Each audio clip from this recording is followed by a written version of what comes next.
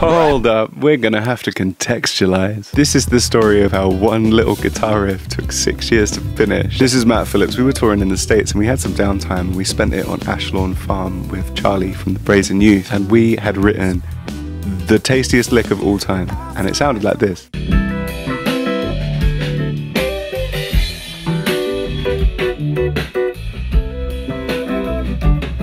It was quite something.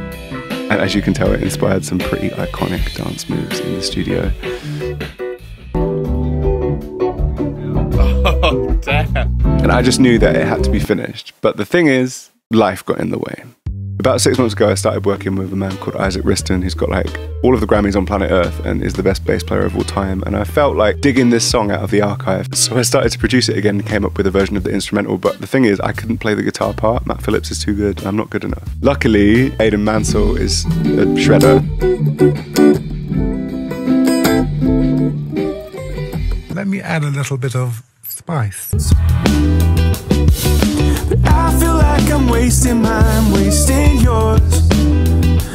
Talking about the feelings that changed. My head's already halfway out the door. Looking for a reason to stay.